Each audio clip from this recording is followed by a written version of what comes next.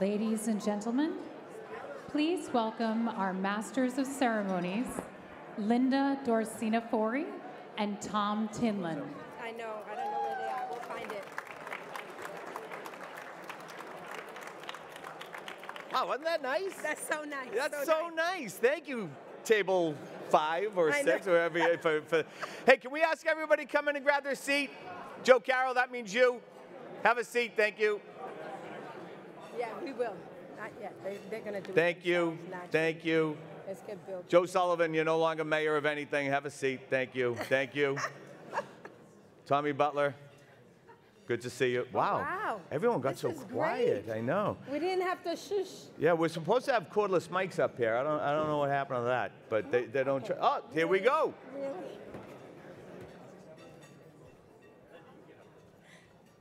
Thank you.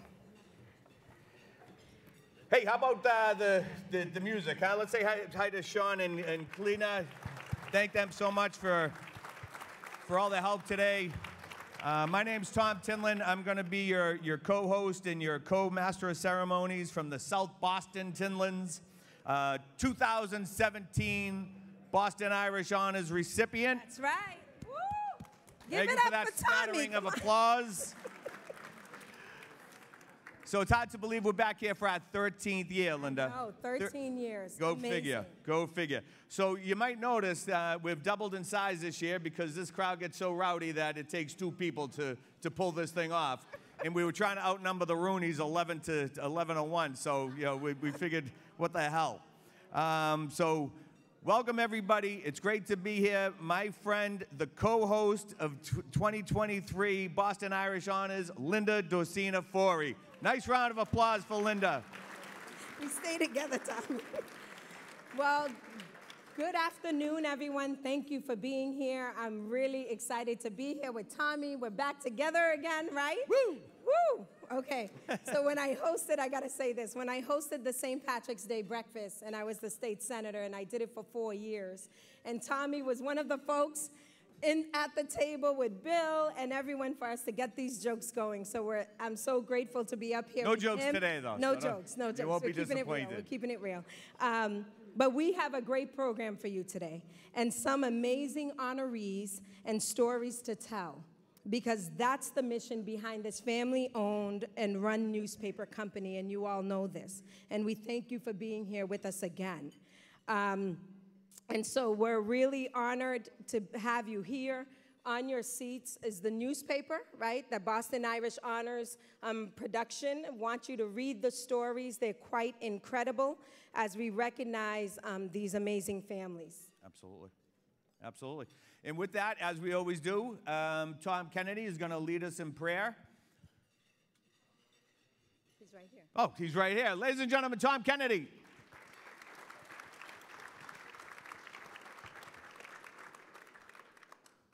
After that introduction, we really need prayer. He's not wrong. Let us pray. O God, creator, sustainer, and redeemer, the author of our salvation, we thank you for the gift of life and for the gift of this day.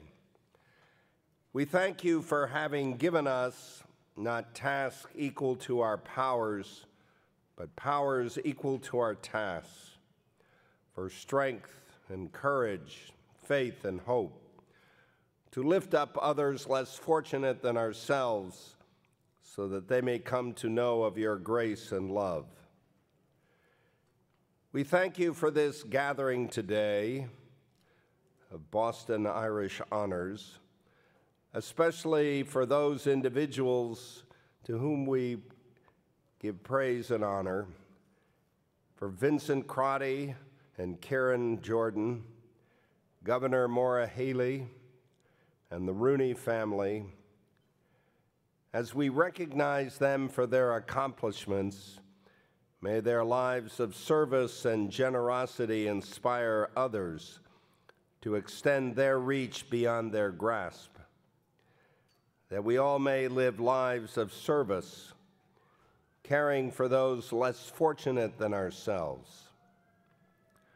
Grant that by today's gathering, we may be of strength in our purpose and resolve to serve one another.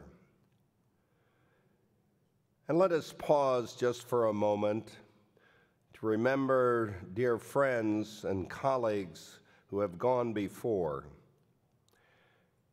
We especially remember today Dick Flavin, Joe Leary, and Brian O'Donovan, all of whom contributed to our common life in this community.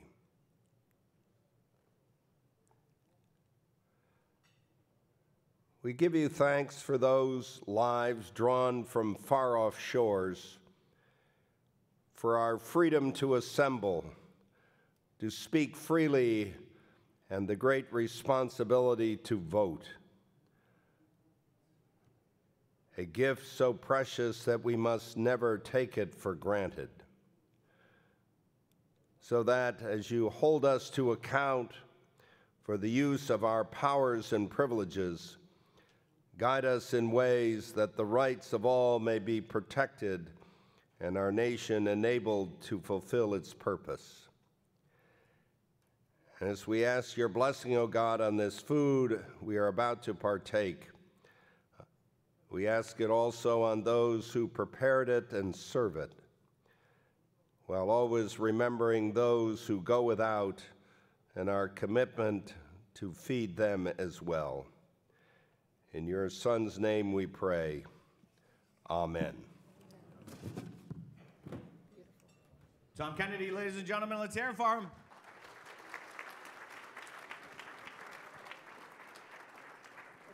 It's dinner time, right? Man, after that was, uh, where do you go from there? Jesus. So, go ahead, Linda, you're up. Okay, so we are again excited to once again offer a great raffle prize. Um, this is a great room, by the way, because we didn't have to shush when we said we're starting. This is quite amazing. Um, we have an out, uh, a raffle prize at today's luncheon, and thanks to our friends at Delta Airlines, the winner will get two round trip tickets to Ireland.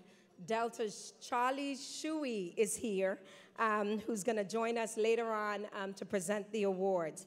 We also have a terrific bundle of tickets from the Red Sox. So thank you, Red Sox. Four tickets on top of the Green Monster, along with a pregame tour of Fenway next season.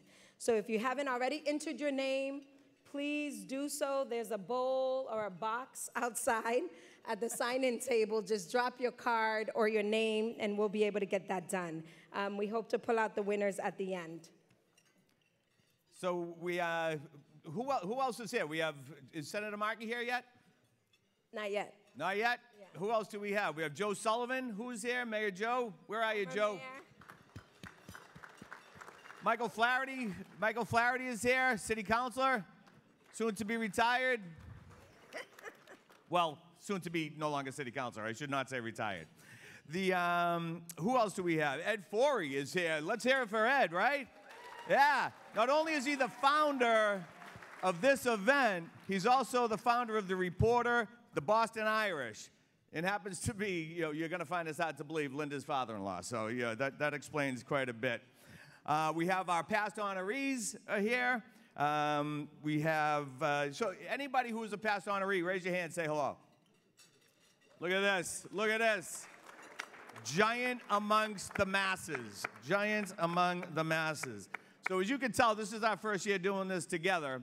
So my script is different than hers because I'm lazy and I looked at mine this morning and Linda was editing hers, you know, diligently. So we'll, we'll, get through it. So just give us a little bit of time. We will, but I want to recognize as a former elected, I have to recognize a former elected, the Honorable, um, I'm going to say his name, but last night he held an event where 1,500 people attended, did an incredible job. 1,700, according to him. 1,700 according to him, and that's the Honorable James T. Brett. All right, Jimmy Brett, Jimmy Brett.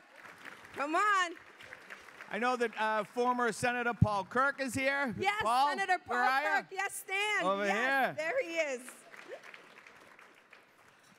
So um, we do want to have, uh, we want to acknowledge our co-chairs, right? So Brendan Feeney and Bill Kennedy. Let's hear it for, for Brendan and Bill. Yes. And would like Bill to come on up and uh, say a couple of words.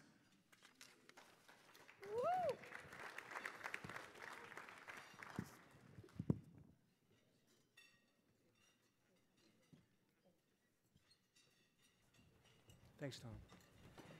Thank you, and welcome everybody to the 2023 uh, Irish Honors Awards. Uh, I want to thank uh, Maureen and Linda and Bill and Ed Forry for asking me to be a co-chairman, and I want to recognize uh, Brendan Feeney, uh, who uh, co-chaired the event with me, and the Feeneys have been very generous over the years to fit this event every year, and of course, they really epitomize, I think, the the purpose of these awards is to recognize our Irish heritage and tell a story about uh, people's lives and, and, how they've lived it. And of course, the Feeneys are successful here with their excavation company, and of course, never forget their roots in Ireland. So thank you, Brendan, for co-chairing uh, with me. Thank you very much. and also thank you to the, the host committee uh, every year we have put together a great committee of, uh, of uh, men and women, and uh, we have fun getting together and uh, talking about the honorees and talking about the event. And we really we have a nice group of people every year who, who Ed and Bill put, put together to, to help them put this event together. It really is a, a great event to, to celebrate. And the minute I walked in today, you know, you saw so many, I saw so many familiar faces who I, who I haven't seen in a while. Uh, I may only see it at this event. And, it, and every time um, I come to events now, you just really realize how much we have missed uh, getting together and, sharing our friendship over the last couple of years. And uh, it was just great to walk in and, and hear. Uh, you can tell when someone knows me a long time when they call me Billy. And uh, I'm not, I'm not used to being a 69 year old Billy, but I guess that's, that's the way it's going to be. But it's just a wonderful. So I thank the Forrys for bringing us all together and to celebrate that, that, uh, that friendship. But uh, it's just a, a, good afternoon, and I thank you all for, uh, for uh, supporting this event. I want to thank the honorees, the governor, and uh, Vincent Crotty and Kieran, and of course, the Rooney family who were who, who are friends of mine, and Anne Marie and my daughter Nora. And that, that's a great story in itself, which we could be here a long time telling. But uh, it's just a beautiful story. And, uh, and, uh, and Mrs. Rooney is, is a wonderful person who I actually met in the State House over 20, over 20 years ago. And so, again, thank you. Have a good afternoon. And again, thanks for supporting this event. Thank you very much.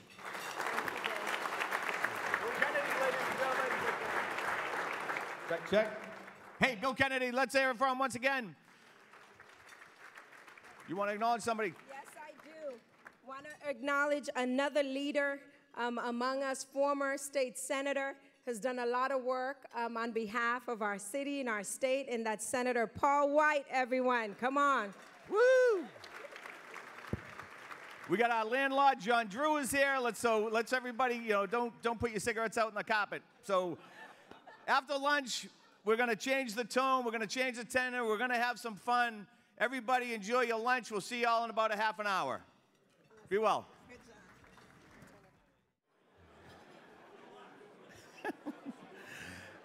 all right, folks. Everybody have a seat.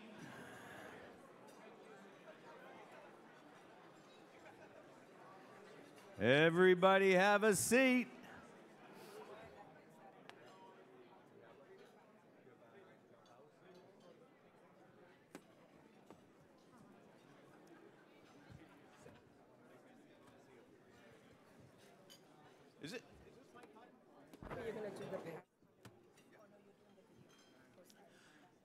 So, folks, we have um, everybody here familiar with the show Derry Girls? Yeah, Derry Girls. It's a great, great show, great show. So we're gonna start our next segment. Shh. No, it's all right, Jim. You're getting an award. We, we, we got all day. No, seriously, you, you good? All right. So we're gonna start our next segment with a uh, with, with a video um, brought to you by our friends at Derry Girls If you look at the mon- wow, that's a big head. Look, oh Jesus. Where? Stop it. Where's the fil? Wow. Derry girls. Ah, it's so great to be back in Northern Ireland. So what is the plan?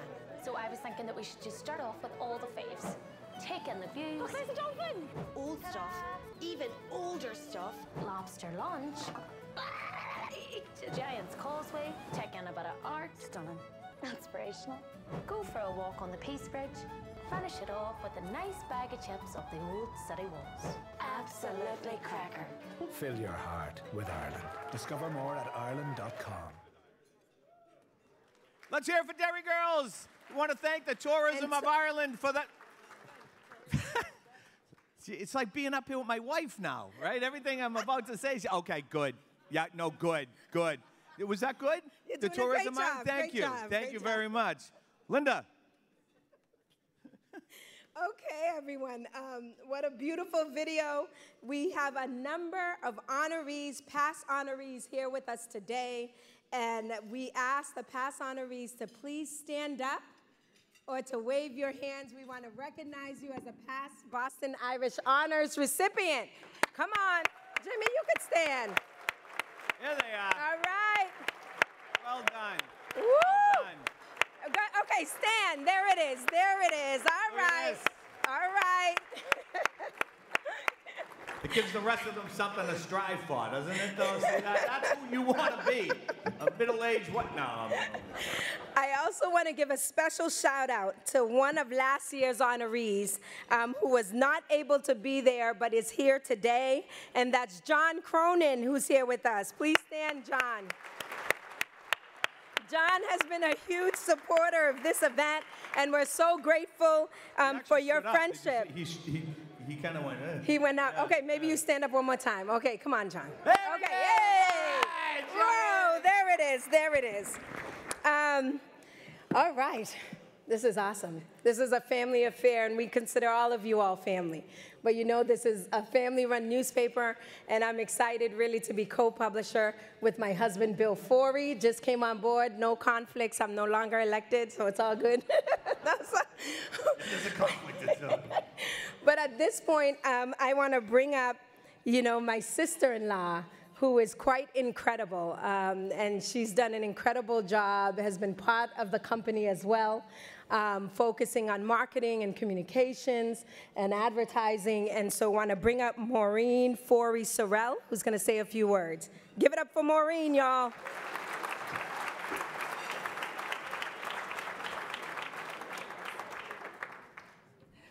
Hi, everybody. How about our Masters of Ceremonies here? Are they great or are they great? And I don't have to say that just because I'm related to her. It's, I wanted to say thank you and welcome to everybody for joining us today. I hope you've all enjoyed your lunch. It's truly an honor to be in the presence of so many who share a deep connection to the Emerald Isle, whether it's through heritage, love of the arts, or an appreciation for the enduring spirit of the Irish people. In this vibrant city of Boston, the Irish heritage has not only survived, but thrived. Our shared history, traditions, and the enduring sense of community are the reasons we come together today. Before we proceed any further, and I think Tim touched on this earlier, but I would like to take a moment to express our heartfelt gratitude to the incredible musicians who have graced us with their presence today. Thank you. Yep, that's right. The music that we've heard, the melodies that have filled this space, are a testament to the rich cultural heritage of Ireland. It's a heritage that has been passed down through generations, and it's one that these musicians have shared with us so generously. So, once again, please join me in giving these remarkable performers, Sean Smith and Cleena Fields, a well deserved round of applause. Thank you. Tourism Ireland's impact goes beyond tourism. It fosters connections between nations, promotes cultural exchange, and supports communities. It's a testament to the power of shared experiences, to the idea that by immersing ourselves in the wonders of another culture, we can better understand, appreciate, and connect with one another. My husband Aaron and I We're delighted to bring our two children, Nate, who is here today. He's probably on his switch. Um, we brought Nate and, and our daughter Leanna to Ireland last year. And my daughter Leanna is a person living with disabilities. So I was a little nervous about taking her on a trip to Ireland with everything that goes along with um, having a child with mobility problems. But I was delighted to write about our trip uh, as a disability family, which you can read on our website under Boston Irish Travelability if you're interested. But traveling with a disabled child can indeed be a challenging and nerve wracking experience. But the unwavering hospitality of the Irish people, combined with the information and support provided by Tourism Ireland, made our trip an incredible adventure. It's not just the stunning sights and experiences that we remember, but it's also the sense of belonging, the warmth of the people we encountered, and the feeling that Ireland had just opened its arms to us. So, to Tourism Ireland, thank you for being a steadfast and treasured friend of Boston Irish. I have another short video, short message from Tourism Ireland for you now. I would say this, but to me, the Irish are the funniest people in the world.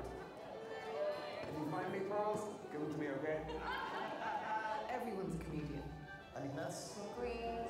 What do you think I am? A juggler? Should we the picture, please? In Ireland, one of the greatest compliments you can give someone is to describe them as a character.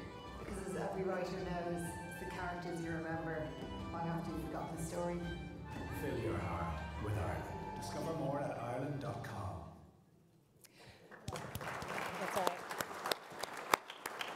And the actress in that promotion, if you don't know her, her name is uh, Sharon Horgan. She's amazing. There's an incredible show on HBO called Bad Sisters. If you've seen it, fabulous. So, moving on, thank you to the generous support of Delta Airlines. We have the incredible opportunity to give away two air tickets to Ireland. However, there is an important detail to remember, and that is that you must be present to win. So make sure you stay with us until the very end, as we'll be drawing the lucky winners from among our enthusiastic attendees. It is a fantastic opportunity, and we extend our sincere appreciation to Delta Airlines for making this possible. So stay tuned, enjoy the rest of our program. Good luck, and thank you for being with us here today.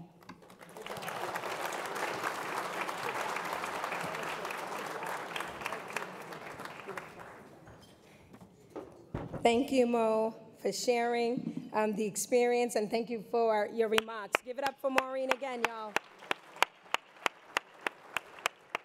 I want to recognize real quick some elected officials who are here with us, among us, which is quite exciting. I see Representative Kevin Honan. Where are you, Kevin? All right. I see Representative John Rogers. John, stand up. All right. And I see one of our amazing, amazing electeds who is focused on representing community, showing up, constituent services was number one always. And that's our city councilor who is, who is stepping, right, who is not running again for reelection, and that's City Councilor Frank Baker. Give it up, you all.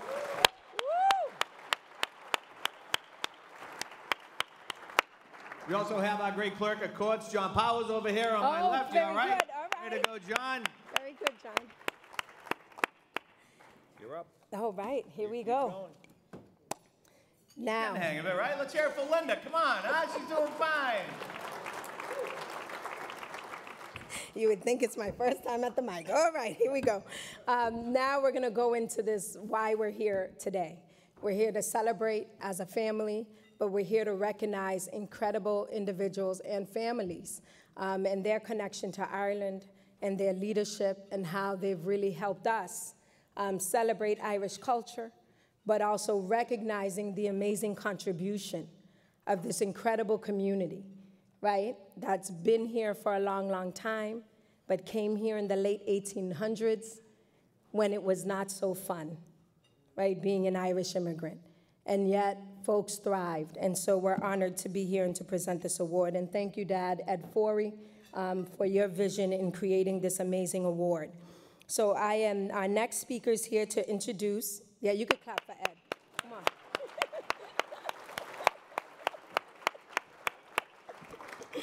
our next speaker is here to introduce us to our first honorees of the afternoon. Paula Plum is an accomplished acting coach, teacher, and theater director.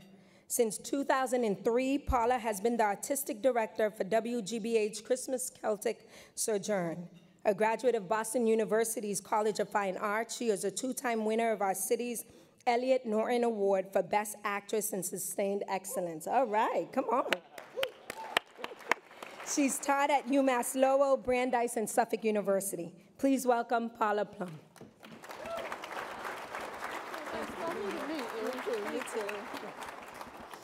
Hi, everybody. Um, it is my great honor uh, to introduce you to two remarkable artists and personal friends of mine, Kieran Jordan and Vincent Crotty. We have been friends and artistic collabor- collaborators by virtue of our mutual friend, the late, great Brian O'Donovan.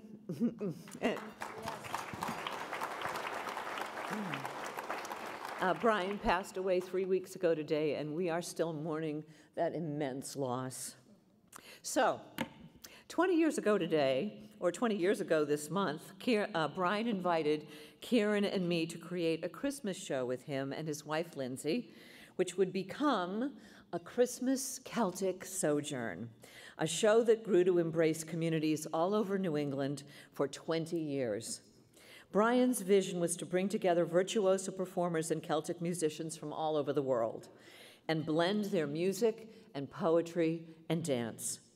So, each year for several years, Kieran and I would gather in Brian's kitchen, enjoying Lindsay's brown bread and hot coffee, mulling over the sequencing of the show, deciding which carols for the audience to sing along, what solos for our featured musicians, and how best to incorporate Kieran's lovely sean-nós dancing uh, into the choreography of the program, as well as the more familiar step dancing of the Liam Harney dancers, who Kieran also choreographed. Kieran and I worked in happy collaboration for 10 years, slowly building a repertoire and a vocabulary that served us as the creators of this show. By virtue of A Christmas Celtic Sojourn, Kieran became the first Irish dancer to put sean-nós dance on the stage the first performance and performer of this old style of dance in a theatrical setting. She taught sean-nós dance at her Hyde Park Dance Studio, and her students now teach sean-nós all over the country. sean-nós, as I have learned from Kieran, is the old style of Irish dance that originated in the kitchen and pubs of old Ireland, or as Brian O'Donovan used to say, round the house and mind the dresser. Kieran's bringing that to the stage, to live theater, was something new. Because of Kieran's love of old style Irish dance, it lives today in Irish American celebrations all over the US. Because of her passion for this dance form and her dedication to sean-nós dance, Kieran has illuminated and elevated the traditions of Old Ireland. Illumination is the theme here, shedding light on the dance, and with Vincent Crotty, Light in Darkness. When I was artistic director of A Christmas Celtic Sojourn, Brian O'Donovan and I commissioned Vincent to create multiple paintings for the show, and ultimately, in 2019, asked him to paint an extraordinary 30 foot backdrop of an Irish landscape. Our request was simple that he create a scene of old Ireland, the countryside perhaps by the sea, with a few thatched cottages, and oh, yes, we need it to reflect all hours of the day from dawn to midnight. Could you possibly paint that? Paint something that looks like both early morning and moonlight on the bay on the same canvas? I mean, this is impossible, right? Oh no.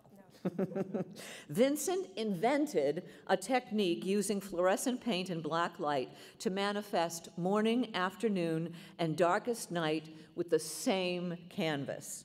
So I have to just explain. He used fluorescent paint, and this was a huge experiment. He used fluorescent oranges and yellows to highlight all the pinpoints and tracings of light that are visible in moonlight. The tiny candles in cottage windows, the sparkle of stars, the full moon, the filigree of light on the water, the little lights across the bay. So that in natural light, the painting is a serene Irish village by the sea in early morning. But turn out the lights in the theater on a dark stage and shine blue ultralight on the painting, and it magically and miraculously transforms to a sweeping vista of stars, candlelight in tiny windows, and the sea shining in moonlight. It was an extraordinary and successful experiment and one of the most exciting moments of creation for our design team in the 20 years of A Christmas Celtic Sojourn. Vincent is, well, he is the master of light. Vincent has received many awards and recognitions for his artistry, but I really, really encourage you to treat yourself and visit his website at vincentcrotty.com. Really, take that journey through myriad Irish landscapes, fields, and shorelines and villages evocative of old Ireland, or delve into the nocturnes or his urban landscapes. You know, sometimes when I'm just sitting at home working, I will steal a moment and dial up Vincent's website and take a tour through his mysteriously evocative paintings. And what happens when I look, when I see what he is inviting me to see, I am transported to a, a feeling, a personal experience, a story. In his urban landscapes, he has the ability to find the mystery in the ordinary. Um, and how can I ever look at a dumpster in a parking lot the same way? or a South Boston alleyway covered in late afternoon snow. And then visit Vincent's Nocturnes, where I am invited into the night and the darkness is transformed by a single bulb, by moonlight gently falling, or a streetlight startling my gaze on the most surprising shapes a car, a bent figure of an elderly person, the stripe of lamplight on a wet street at midnight. Illuminating in every, every sense of the word is how I experience Vincent's paintings, how his eye directs me to the magic of the everyday or enlightens my experience of nature, and both the American and the Irish experience. And now, would you please welcome Vincent Crotty and Kieran Jordan.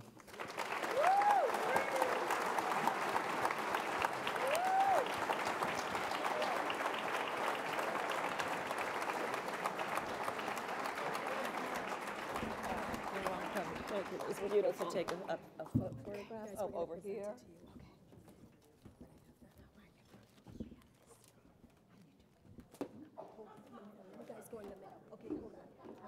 Okay, Okay, you in the middle next to her. Okay, good. Six. Okay.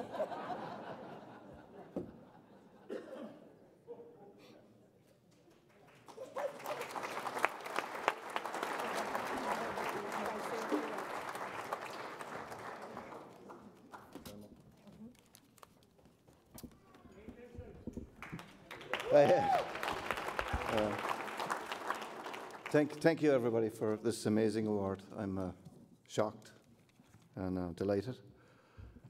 And um, I was just going to go through a few little stories about how I got here and a few reminiscences. So I'm going to go back to 1989. I was with my girlfriend uh, at the time in um, North Cork, up in Kanturk. I was having a pint with her, and she said, Well, we just got me and my sisters and my mom and my brother, we all got green cards. And um, so I said, Well, I was shocked. I was, I said, Well, I, I, might visit you. I wasn't sure if she was the one, but I, I, I loved her for sure. but I didn't know if I was going to emigrate to America. but um, two nights before I was going to visit her, um, my dad said, Well, you know, that's great. You're going for two months. And he said, You can come home to Ireland, but you're not coming home.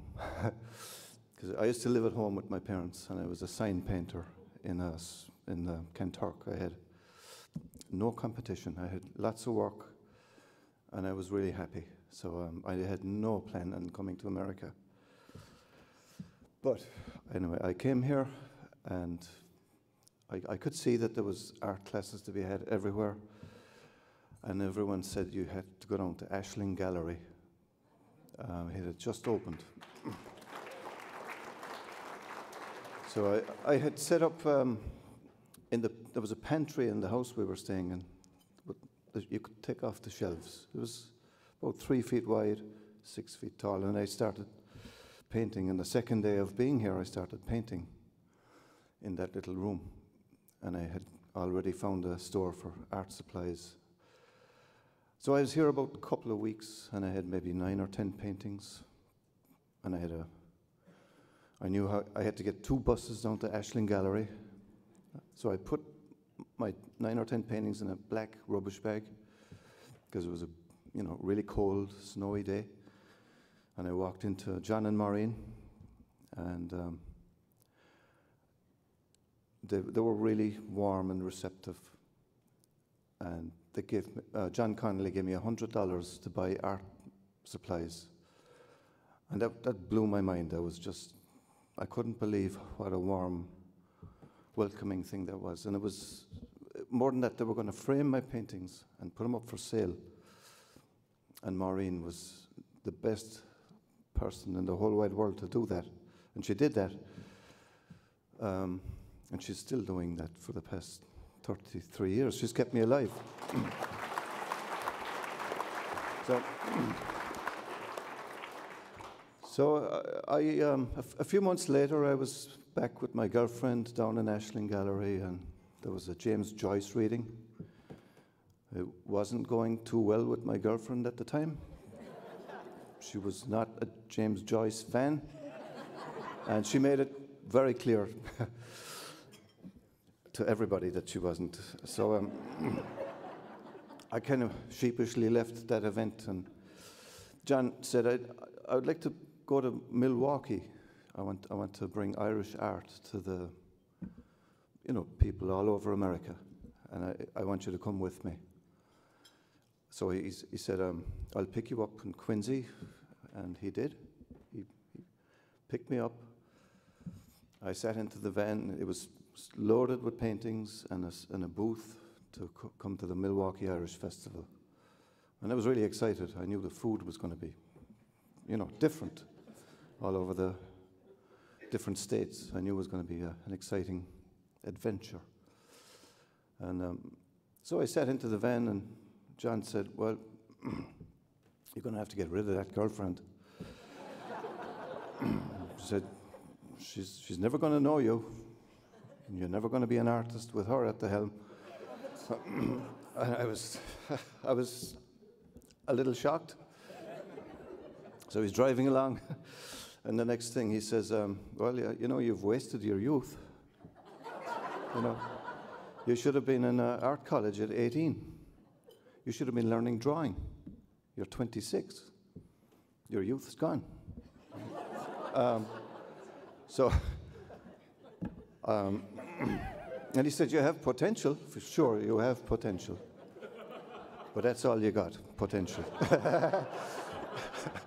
so, so we were driving along, 18 hours to go. but I was, I was curious to see what we would have in uh, our first meal. And so we, we, we came up to this um, restaurant. a big yellow sign. It was a, a letter M. it was a McDonald's. so that was our first meal on the journey. And um, we, we drove, we, we, went as far as we could that night. I knew we were going to stay in a, a nice hotel. So um, we, uh, we got as far as we could, somewhere near Toledo, Ohio. And um, so we pulled into the hotel. I noticed it was spelled slightly different. It was motel, not a hotel. I'd never been in a motel in my life. so um, I, uh, I, I thought we might, you know, have a, have a meal at the, at the bar or the, the restaurant. there was no bar, there was no restaurant. we were sharing a room, and uh, so we went to the we went along to the festival and started showing our paintings. And um, after, after that, we, we came back to Boston, and I had a new agenda for myself to, to get some training. I was really appreciative of John Connolly's honesty, and I set about to, to find some training. If I'm going a, too long here, tell me to. Too you late. Wind it up. We love you, Vincent. Okay, so I, I, I, got, I became a member of 13 hours to go. I, sound, I, I, I signed up for the Museum School of Fine Arts and I, I got accepted, and it was um, a huge honor.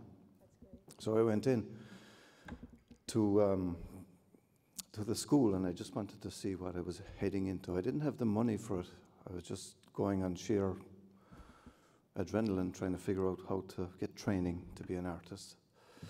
So I, I, the professor outside in the hallway said, I'm just about to give a critique to my, my students. And um, if, you, if you'd like to see what kind of work we do, if this school would be a fit for you. I said, I'd love to see that.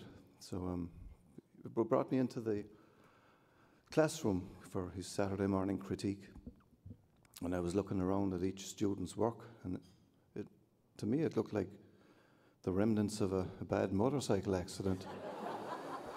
I thought sculpture was clay and stone and all that kind of stuff, but there was none of that going on here. And there was a, I looked out in the halls with the painting department and the drawing department, and that didn't look much better. And uh, I, so I met another professor uh, in the graphic, depart, graphic department, and I said, "This work doesn't, I don't like it." And I don't know what, is there something wrong with me? He, and he said, No, there's nothing wrong with you. He said, Some people like classical music, some people like folk music. So why don't you go down to the Cambridge School of Adult Education? He said, You need to learn the bones and the muscles, and you need to take a class called life drawing. So, um, so I, I signed up, and he said it'll be one tenth of the cost. So I signed up for this life drawing class at the Cambridge School of Adult Education. Uh, and I, remember well. It was in January, and there was 12 students, and the teacher hadn't walked in yet, but I had no, no idea what to expect. But uh, one of the women beside me, she took off her shoes. then she took off her socks. And wa- it was a cold, cold winter's night. And next thing, she took off her jeans, and uh, she took off everything. I, coming from North Cork, I wasn't used to this. Okay, so anyway, um, th- that was my that was my introduction to drawing from life, and it was the first time in my life I was going in the right direction. But uh, uh, thank you to John Connolly for lighting the fire, Uh, um, and thank you.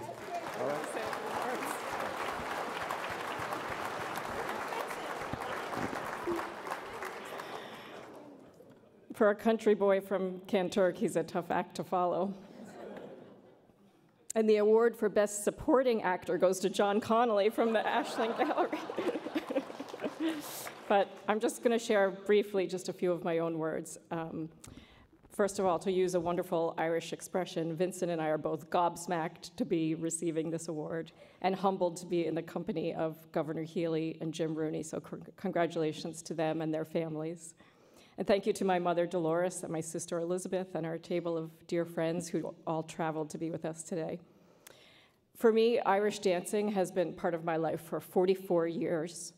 My dad, Dick Jordan, carried on a proud family connection to Ireland, handed down from his immigrant grandfather to his mother to me and my sisters. When I started Irish dancing, it was still a folky kind of activity. There were no wigs and fake tan. And it was um, the kind of thing where we would go to folk festivals as a family on the weekends, feises and ceilidhs that really felt like family and community events. And I loved being part of that climate. Over the years, as I'm sure many of you are aware, the pageantry has come into Irish dancing, along with intense competition and some of the drawbacks of that, like favoritism and sometimes harsh teaching practices. I was determined when I started teaching Irish dancing more than 20 years ago to foster a non competitive environment that was joyful and welcoming, with a focus on adult learners. And so I've been teaching the older styles of Irish dance, the Sean-Nós styles, to adults of all ages in the Boston area for more than two decades. But in my personal life, Irish dance and traditional Irish music have always been a place of joy and comfort for me, a way of reconnecting to myself in a deep way. They have sustained me through challenging times and guided my way creatively and professionally. They've allowed me to travel and make friendships around the world. They've brought me connection and healing. I want to acknowledge Ed Forry, who has always been a great supporter of both of our work. I was employed by Ed many years ago, just as I was graduating from Boston College. He hired me as a columnist for the Boston Irish Reporter newspaper and gave me great freedom in writing about my passions for traditional Irish music and dance. But I had such, such a strong calling to follow my heart in dance, so I left the journalism job to embark on the precarious path of self employment as a performing and teaching artist. Before I did, though, there was one day when Ed and I were coming back to the office in Dorchester after a function in Boston, and we made a lunch stop at the Star Market on the Morrissey Boulevard in Dorchester. And there we had an accidental or serendipitous meeting with Vincent Crotty, and that is how I met my husband in the checkout lane at Star Market. So Vincent and I are always grateful to Ed for that. I want to acknowledge someone who has really shaped our world here in Boston for the last 25 years, and that's Brian O'Donovan. He was a personal friend and a longtime collaborator to both of us, a fellow Cork man to Vincent, a role model to me, and his recent death leaves a giant hole in Boston and in our lives. I want to thank Paula for her beautiful words and for being with us today. We worked together very closely on a Christmas Celtic sojourn, bringing Brian's vision to life. Brian understood my vibe, my aesthetic as an Irish dancer, and gave me many, many opportunities to share that with audiences and to grow my art and my business that way. And finally, this Irish community that we have in Boston blows us away over and over again, especially with how people lift each other up in tough times. When I got very sick with a complicated case of Lyme disease six years ago, Irish music friends of mine started a GoFundMe to help with medical expenses that were not covered by insurance. I'd say most of the money that came into that GoFundMe campaign was due to Ed Forry and Brian O'Donovan, who used their media outlets and their social media platforms repeatedly to share my story and seek support. And that was game changing for us at the time. We will always be grateful. So it feels very good to be able to say thank you publicly to Ed and the Forry family and to get, dedicate our award today in the memory of Brian O'Donovan. Thank you. Thank you, Vincent and KJ. Give it up for them again. Great job. Nice job. Great job, Vincent.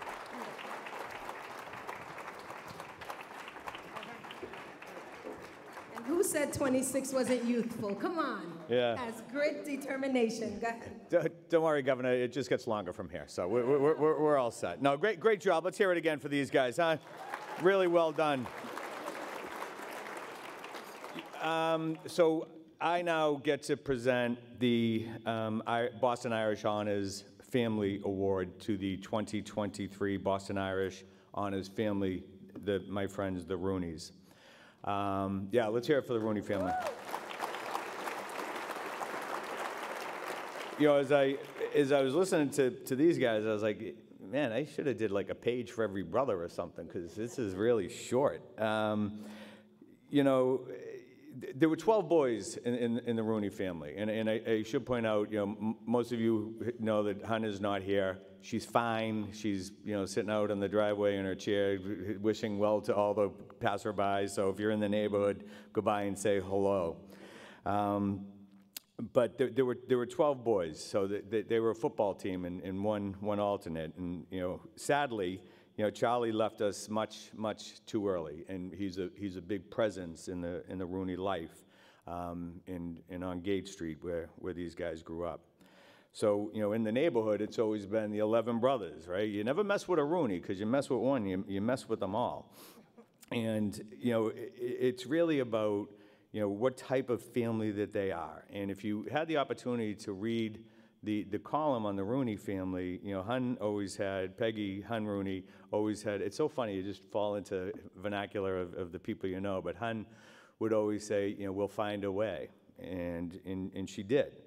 And, you know, Fred and, and Hun, you know, brought these boys into our life, our community's life, our Irish life. And each and every one of them is a good, solid Irish man. And how do you do that? You know, I, I think you only need, again, to, to read the column and, and you know that we'll find a way. You know, the Rooney family always find a way. So, you know, Buddy, Jimmy, Michael, Tommy, Jackie, Paul, Mark, Larry, Joe, Jay, and Chris, right? They all found a way to be good men, good husbands, good fathers, brothers, uncles, nephews, and above all, brothers. Brothers who have each other's back. When the chips are down, for one, the pain was felt by the other 10. And they would gravitate to the one in need and they would find a way. They would find a way to lift that brother up, to be there for their mom and their dad, Fred, who sadly passed. You know, and I was going to come up and talk about how you know three went to Harvard and one to Columbia and one, you know, and it doesn't, it really, it doesn't matter because it doesn't make them who they are as people. I know a lot of Harvard folks who, you know, I see them coming across the street. You know what I mean? You know who you are. I, I, but I did have the great fortune to, of working with um, or for three, three of the brothers. And, were, and all 11 are, are great in their own way. And, you know, and I, I believe that that is because they have taken what, what Fred and Hun have taught them and put it, put it to use, you know, put their own spin on it and, and put it to use. They found their way. They've never forgotten where they've come from. They're truly all for one and one for all. You know, I know, I know Fred is, is looking down and he could not be more proud of the men you have all become. And Charlie's with them and saying the same thing, you know, because there's 12 Rooney boys, boys, 12 Rooney men, all of whom are just, I'm telling you, top shelf in so many ways that you can't list them because there's 11 of them, would be here all night. But it does give me a great, great honor to, to represent the gentleman who's going to speak on behalf of the Rooney family, my pal Jimmy Rooney. Come on up, Jim. All coming up. All of them? The Rooney brothers come up. We're All Rooney brothers. Come on. Oh, come on up. Come on up. Let's keep on clapping, y'all.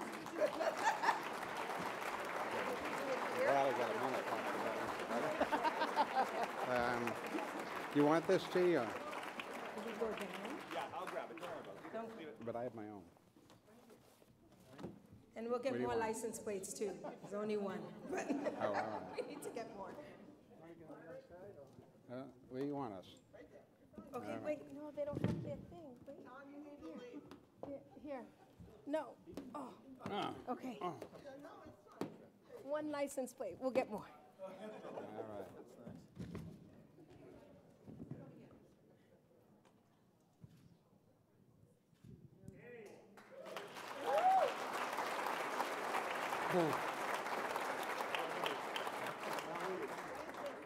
All right. When- When, when Linda handed me that, I thought it might be my inmate number. Um, Well, um, thank you for that introduction, Tom, and just uh, to clear a few things up. uh, This is all off the record, right? Oh, 100%. You're, it's a safe place. And it's lunch, so it's G-rated, I'm- I'm imagining. We're going to find out. Um, Well, let me begin by thanking the Forry family, Ed, Bill, and Linda, Maureen. Um, uh, Billy, uh, uh, God bless you, that's all I have to say, Billy. Come on, Jimmy, you're my guy. Uh, And congratulations on 40 years um, with the Dorchester Reporter. Um, It's, uh, it's not just a newspaper, it's an essential um, in, in Dorchester. So congratulations on that. Um, Dusty Rhodes, uh, fresh off of New England Council and, and here today. Dusty's been telling me I have two to three minutes to speak for about 30 years now, Benson, so don't worry about it. uh, and congratulations to Vincent and Kieran. Um, what an inspirational uh, story they are, and proud to share the, the podium with you. Uh, and of course, my friend Governor Maura Healey. Um, pleasure to have worked with you for so many years on so many issues important to the Commonwealth, including now, and we continue to have a lot of work to do. Look forward to doing that. Um, I only have about 20 family members with me here today, so uh, about a third of what we would consider to be immediate family. Um, as, as Tom said, um, my mom, also known as Peg or Hun, uh, is 90, uh, didn't feel up to it today, uh, but she's doing fine. Still sharp, remembering everything as though it were yesterday, but my brothers and I wish that she would forget a few things. um, you know, the first thing that uh, people normally say when they hear about the 11 brothers is, Your mother must be an angel, and she is. The second is, how did they do it? Um, that's a much longer conversation, but in summary, it was hard work and sacrifice for us, for us. And just to put it in context, over five decades, the 50s, 60s, 70s, 80s, and 90s, uh, they had a boy or boys growing up in Southie that were under the age of 18. Um, so think about, uh, think about the sleepless nights that they must have had. Um, my mother, Hun, worked nights in check processing at the old Columbia Point Bank facility, um, but before she left for work, we were fed. She went to work, um, and when we get up in the morning, our clothes were ready for school, and our lunch boxes were packed. And somehow she squeezed in sleep whenever she could.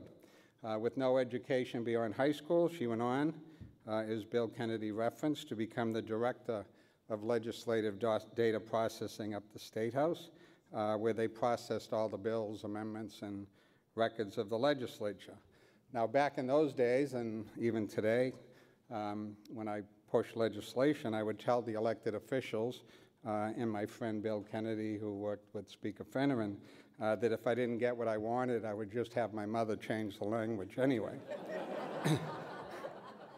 Um, my father, Fred, worked in the trucking industry, always had a second job, a side hustle, I guess it's known today, um, and with five children, got his college degree at Northeastern University.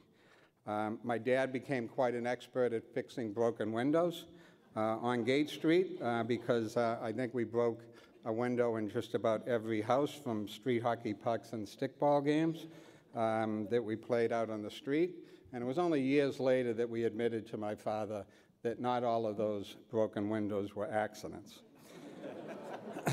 um, but I think, I think the answer to the key to how my mother did it is that um, she had this red wiffle ball bat with a talent for hitting that spot right on the back of your thighs that would sting the most. We all thought we were good athletes, but she had the best swing in the house. Um, the third question we often get is Did your mother have a favorite?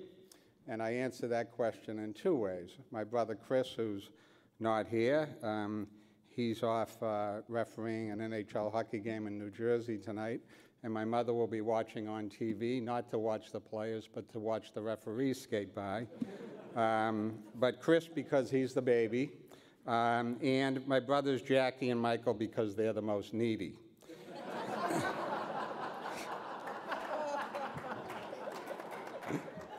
Um, I know I was not the favorite because if you asked her, she would tell you I was the worst baby and I cried for a whole year.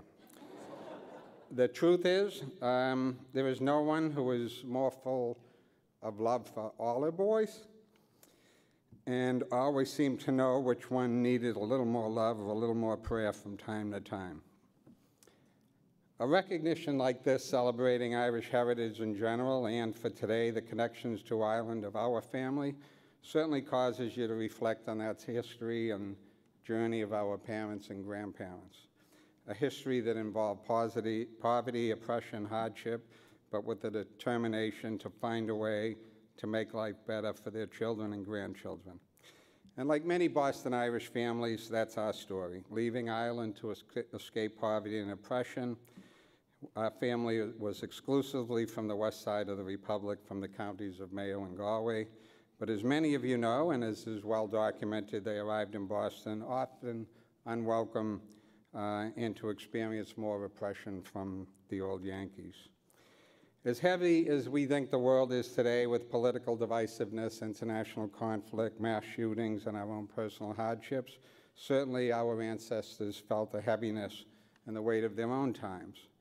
But amidst all of that, my family leaned on the support from other families from Ireland like them, found the opportunities that they were looking for in this great city and remarkable country, realized the rewards of hard work, and discovered humanity from others. That humanity from outside of their own clan was offered to my grandparents in the early part of the 20th century through World War I into the Great Depression right here in Boston. Like many young Irish women, my grandmother Delia Waldron left the village of Knock in County Mayo as a teenage girl and worked as a housemaid for a Jewish family in Brookline. In addition to a few dollars each week, some of life, some life guidance, that family she worked for, knowing she had no parents in this country and that they couldn't afford it, decided to pay for my grandmother's modest wedding to my grandfather, Michael Corliss. Years later, Delia and Michael would have five children, including their youngest, our mother, Margaret or Peggy. They lived down around C and Fifth Street in the Irish enclave of the lower end of South Boston, and a house that was later taken to build the D Street housing projects before they moved up to Gate Street. There was a corner store down in the lower end owned by a husband and wife named Sidney and Bessie. Like many Irish immigrant families at the time, they would get their groceries each day and pay Sydney when the paycheck came on Friday. My mother tells the story often, but she remembers well being sent to the store as a young girl for bread or butter with instructions from my grandmother to tell Sydney she'll pay him on Friday. Of course, they couldn't always pay on Friday, and Sydney noticed that my grandmother wasn't getting her usual items. So Sydney told Delia in a firm Jew- Jewish voice that she should never let her five kids go hungry, whether she could pay them or not, and from time to time gave her the food she needed. To us, my brothers and me, that's the kind of humanity we were taught. Seeing the heaviness of the world being experienced by others. And we could all give you hundreds of examples to this day that my mother has paid it forward with the kindness that she experienced from Sydney and other people in our lives. And it's also perhaps a lesson for all of us today. My brothers and I could share many stories growing up as grandchildren of Irish immigrants in which we were taught by our parents and grandparents the responsibilities we had not to just not to each other, not just to each other, but to our clan and the world around us.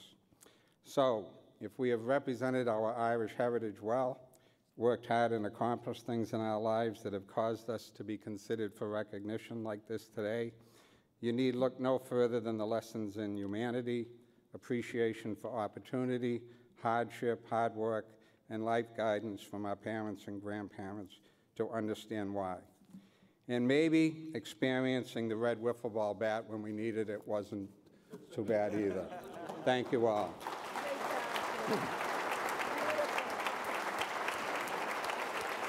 Job.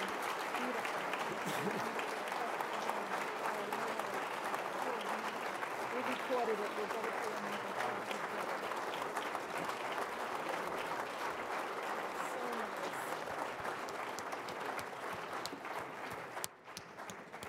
So beautiful.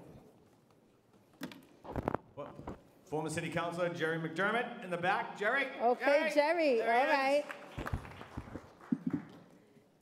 Thank you again to the Rooney family. Um, beautiful words.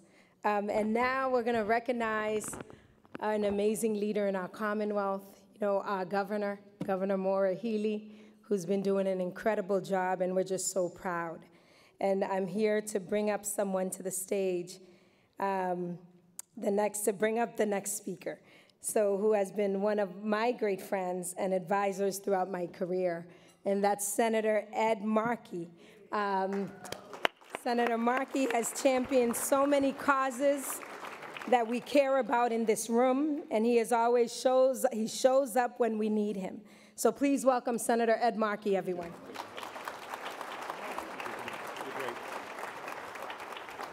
Thank you, Linda, so much, and to you, and to Billy, and to Maureen, and to Eddie.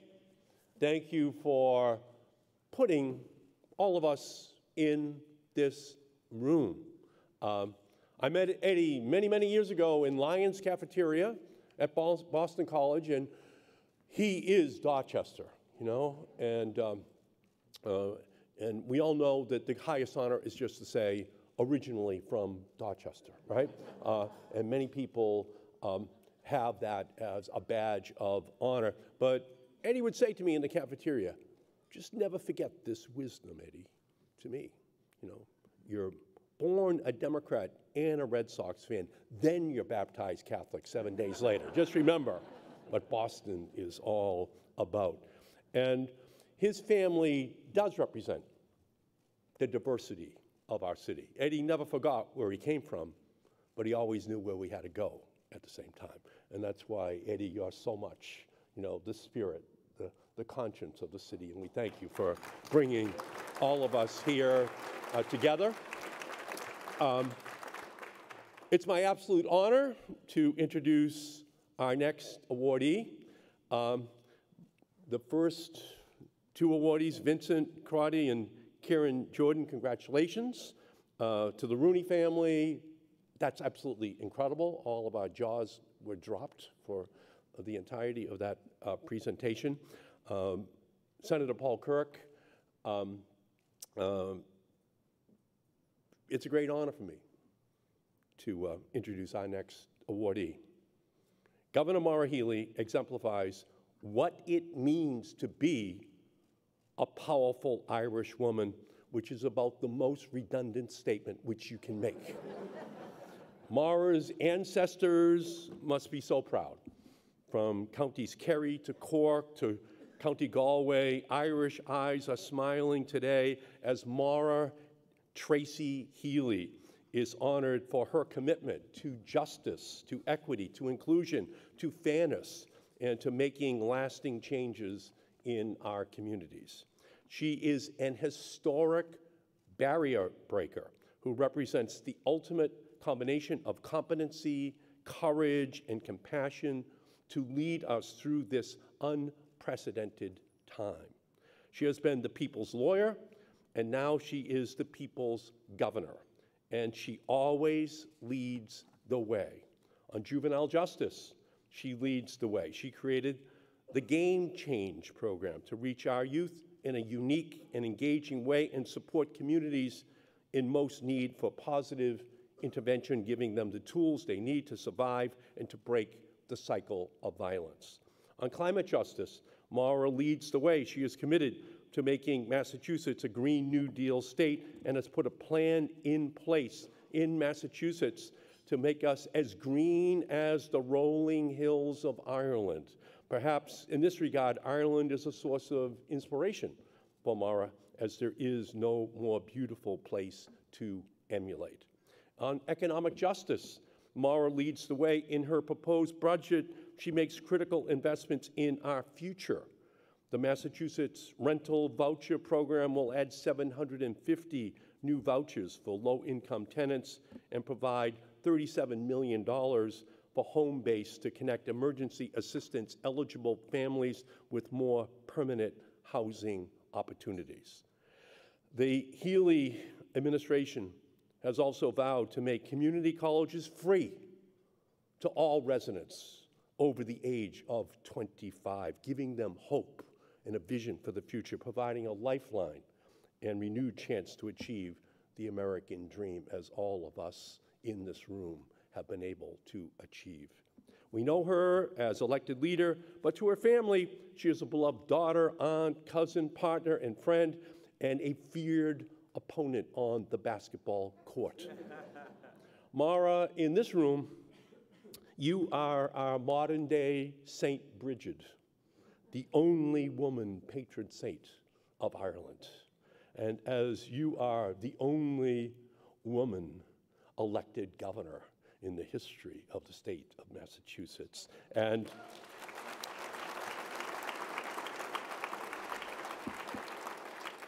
you are our patron saint. Uh, and uh, St. Bridget had a prayer. Uh, and I think you are the embodiment of that St. Bridget prayer. You were a woman of peace. You brought harmony where there was conflict. You brought light to the darkness. You brought hope to the downcast. So may the mantle of your peace cover those who are troubled and anxious, and may peace be firmly rooted in all of our hearts and in this world at this time. I give you our great governor, Maura Healey.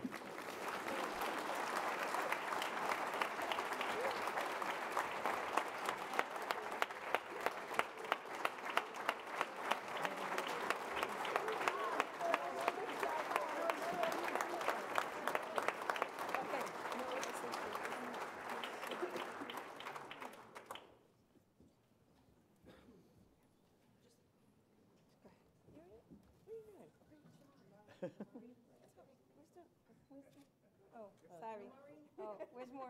I don't know. We haven't done this before.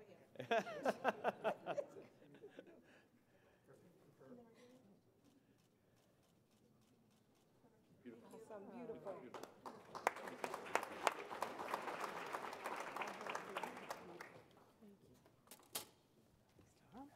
Thank you so much. My goodness, Senator Markey. Um, in the litany of things, he didn't um, he didn't mention that I was a sister, and I don't know if that's because Caitlin and Tara are here and got his ear before before that. I also like the reference to Bad Sisters because uh, it is a show we enjoy. Um, and, um, and as for the patron saint, obviously there are parts of my biography, Senator, that you're not uh, fully aware of. So we'll, we'll leave it at that. But that sounds good. Father Hearn's given me all sorts of absolution today. So I appreciate the luncheon placement when it came to the seating.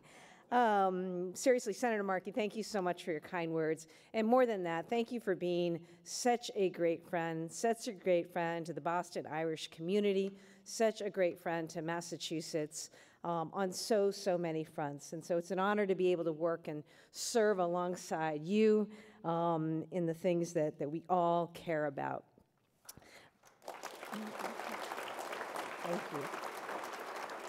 you. Speaking of basketball, he still holds the Congress record for the most free throws made in a row. Little known fact, Ed Markey. Um, to the Forry family, to, to Ed, to Linda, we worked together over the years on many fronts, and I certainly learned a lot from you um, through that time. And it's great to see you and be with you again on a stage celebrating something so positive.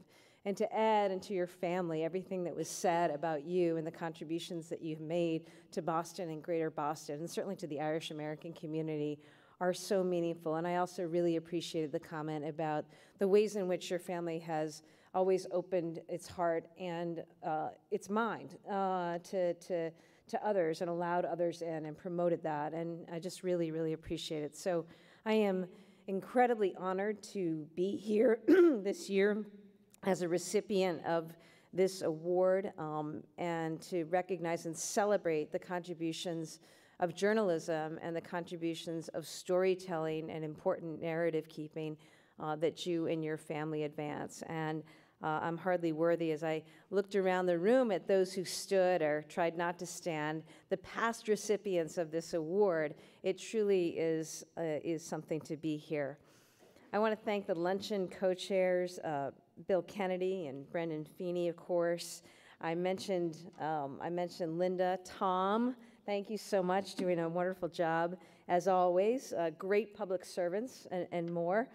Uh, so many elected officials were here earlier and, and, rightly recognized. It's been great to serve alongside so many of you. We'll miss others of you as you go on to greener pastures and uh, less acrimony, perhaps. Uh, lucky you. um, and, and also, I know that we have our Vice Consul General for New England, Paul Rooney, here. We look forward to welcoming our new Consul General, Sheila Fitzgerald, to the State House very soon. I think we've, we've set that up. I wanted to begin by acknowledging the other honorees today, to listen to Vincent and Kieran speak, and to think about all that you have contributed to arts, to culture. When you think about things that really knit together community and, and society, these are such important, important things. And we're so lucky to have you as people who furthered that, who opened up so many people's eyes to those things, gave them an appreciation. And I just thank you for the work uh, that you have done over the, over the years. And, you know, um, your, your work continues to learn, live on in the work of others, because I know you have inspired and brought along so many people. Um, uh, and, um, and maybe not with quite the same approach that John Conley used, um, but nevertheless, uh, uh, very, very effective. Um, so I wish you all the best and continued success. And of course, to the Rooney family, it's such an incredible, incredible story. I, my mom is here, and, and she raised the five of us alone for a good number of years. And I do come from a family of particularly strong women. Uh, but I think about um, I think about your mom and you know the work she did. It's truly incredible, and the work that you have all done with one another to hold each other together. Because family's tough, and a lot of things can happen in the course of a lot of things do happen in the course of, of, uh, of, of all our lives as family, and good times, bad times, really trying times. And I think, it, you know, we should all leave here today feeling really affirmed about what family is. Um, you know, the family you're born into, the family that you bring along and create, and how powerful that is. And so I found it incredibly moving. And Jim, you know, we do. We talk about a lot of things and a lot of important policy issues. But I have to say, today, was um, uh, the most inspired. I've, I've, and you're very inspiring, but today was the most inspired, seriously, I, have ever heard you uh, speak. And it was incredibly powerful and, and, and moving. So,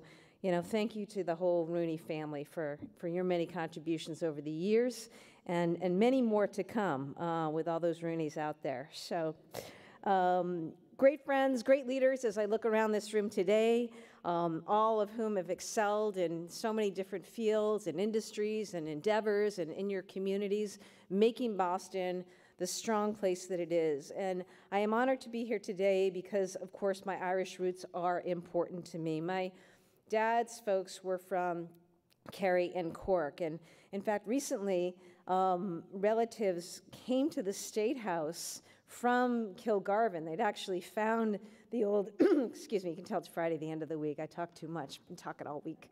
Um, but these folks came from Kilgarvan to the State House to present me with a portrait of my grandfather's ancestral home. And I was just so, so moved by that, and so moved by the recognition of the connection between Ireland and America, and in particular between Ireland and Boston.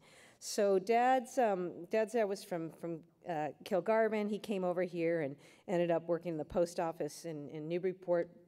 Um, my my grandmother, his wife, uh, came from Cork actually, and she found her way also to Newburyport and ended up uh, as a house cleaner, which is what, what often was the case. And uh, together they, they raised my dad, who's, who's since passed on.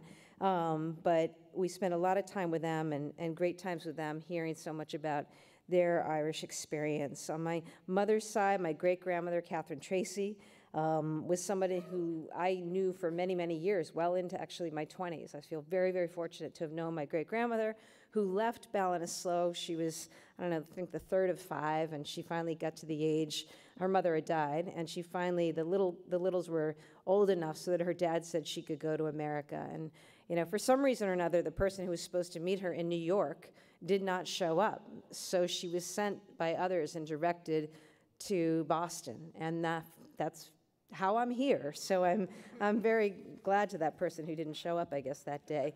Um, but uh, you know, she too worked in several people's homes here in Boston, then eventually up in, in, in Newburyport. And my mother made a particular point of making sure that all of us kids were in touch with all of our cousins in Ireland. I could always tell how the economy was doing.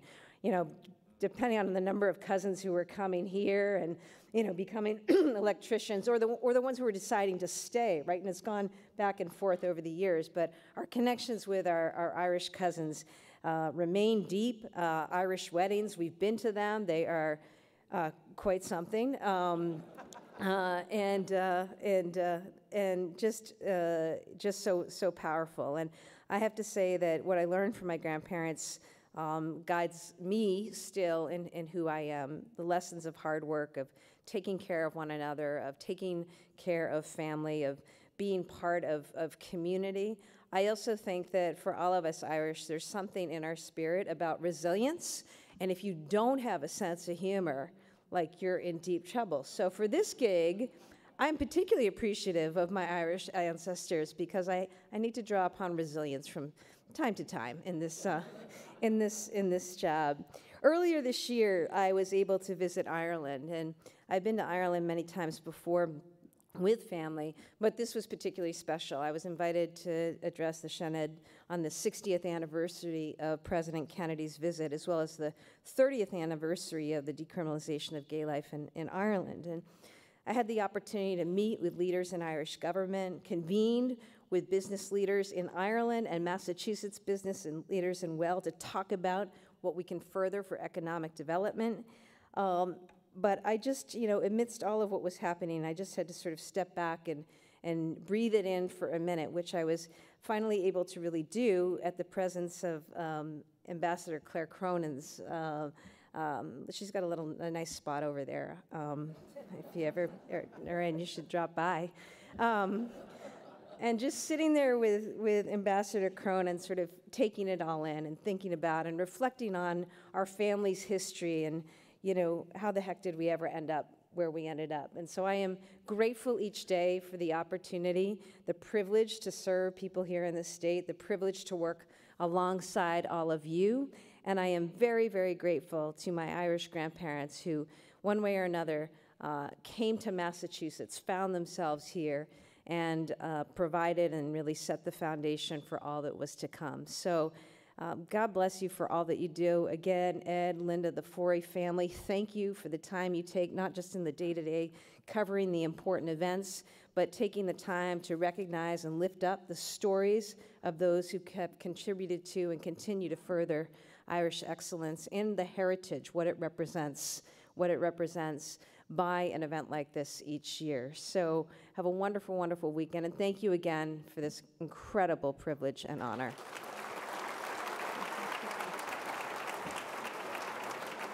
Thank you. Thank you.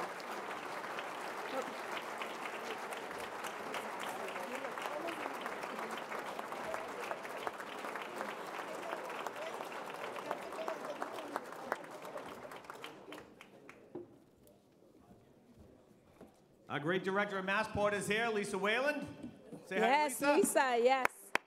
Oh, come on, knock it off. Say hi to Lisa. I know you're all like, have someplace to go. No, Vincent, you can't have any more time. Was it? Wants That's to wrong. finish something. No. Had another thought. We have the award though, please. Wait, we have the awards and we're gonna do group pictures as well. But before we do that, and also gonna bring up Delta, no, yes I am. Um, I wanna recognize some moms um, who are here among us as part of the honors group. So KJ's mom, Kieran Jordan's mom, Dolores is here from Philadelphia. Thank you for being here with us. We have Governor Maura Healey's mom, Tracy's here. Thank you so much for being here. And obviously, Mrs. Rooney, who we love, who could not be here, but we have some bouquets to give to those that are here, and we're going to give it to you to give it to your mom, okay? So that never would be awesome. it. She's never, ever going to see it. I'll, I'll bring it back. Okay. but now we'd like to welcome to the stage. So now, everyone, remember you have to be in the room to win these tickets, okay? So we're gonna bring up to the stage Charlie Shuey um, of Delta Airlines to join us up here as we make someone's Friday even better today. Isn't that exciting? That's right. With the drawing of two round tickets, two round trip tickets um, to Ireland on Delta Airlines. And remember, you have to be here, so text your friends if they went, you know, maybe you took a break, but they gotta be here. Here we go. Okay, are we just gonna draw 'em? Yeah. Okay. Don't do it, Linda. Don't do it. Oh, no, you're drawing. Okay. Mix it up, though, mix it up. Who's ready to go to Dublin? Who's ready to go to Dublin? Let's go. Two really nice seats, very nice seats going to Dublin, daily service. The winner is, Oh. I don't know how to say it. Aoife? eh, Eof Aoife Griffin. Griffin. Aoife. Aoife. Aoife Griffin. Where's Aoife? Aoife Griffin. Oh, there's Aoife. Okay, yes. She's here, she's here. That's great. Thank you so much. Thank you, Charlie, so much. Aoife, Aoife, right? Aoife? This is for the Red Sox event. We're going to do the, oh. the tour, a game to be named later. You get to go with Tom Kennedy to see if they'll win. I don't know. Good. No, I'm not touching it. What? Okay, who's drawing it? Yeah, give it to me. Give it to me. Okay, good, just do it. Thomas Tinlin. No. Michael Knievy. Oh, Michael! yes! Congratulations. Hey, while we That's have your attention, we want to thank some of our sponsors Tourism Ireland, Eversource Energy over here, uh, the Boston Red Sox, Corcoran Jennison, Paul and Mrs. Kirk. Thank you very much. Absolutely. Want to recognize, thank you for sponsoring the Cronin Group, Carroll Advertising, National Grid, Aer Lingus, the Drew Company, UMass Boston, and Bob and Jean Sheridan. Thank you all. This is awesome. We want to thank you all for the support today. And again, would love to thank, thank the team of conventures led by Dusty Rhodes. Thank you, Dusty, and your team for a job well done. Thank Rachel and Kara and the whole team. And obviously, want to recognize the folks here at the Seaport for providing us with this amazing meal and the incredible staff. Ladies and gentlemen, it gives me great pleasure to now introduce Father Jack Ahern, the pastor at St. Gregory's in Dorchester, for our benediction, and we're going to get you out of here. Give it up to Father Jack. Father Ahern, Jack, my priest. my way to heaven. St. Gregory's Yeah. in the house. When the senator invoked uh, St. Bridget, I was wondering if he was going to tell us the legend that she was able to turn water, not into wine, but into beer. Let us pray. Lord God, love of us all, the beauty of this day has been made more glorious by this gathering this afternoon. It is good for us to be here. Today we have celebrated all that is Irish, and we have acknowledged the special lifetime achievements of individuals and families who exemplify the very best of our Irish values, legacies, and traditions. We honor and celebrate their exemplary endeavors in the arts, government, public service, and community leadership. In many ways, our honorees have remained connected to their Irish roots and honor their forebears by exhibiting compassion, respect, and generosity to people of all backgrounds who follow their lead in carving out a life in a new land. And recognizing their contributions, the contributions of the Irish diaspora here in Boston, I hope that as in telling their stories, we might propel and inspire our fellow Bostonians, no matter their place of birth, to leap to establish their homes and make their contributions in this, the most Irish American cities, in this, the greatest country in the world. May God bless our honorees, their families and friends, and indeed all of us with his friendship and peace. Slán Mork Chara, safe, safe home, my friends. Thank you, Father. Once again, if you received an award, on my right, your left is a, uh, a step and repeat. Please make your way over there for some photos.